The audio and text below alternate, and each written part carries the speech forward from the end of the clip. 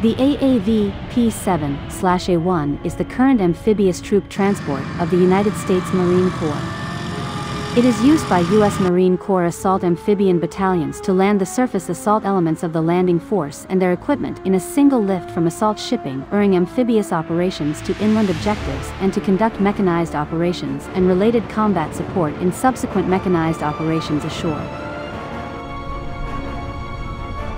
It is also operated by other forces.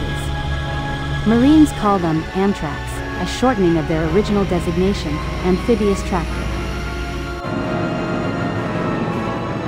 In June 2018, the Marine Corps announced they had selected the BAE Systems slash Iveco wheeled Super AV for the Amphibious Combat Vehicle ACV program to supplement and ultimately replace the AAV.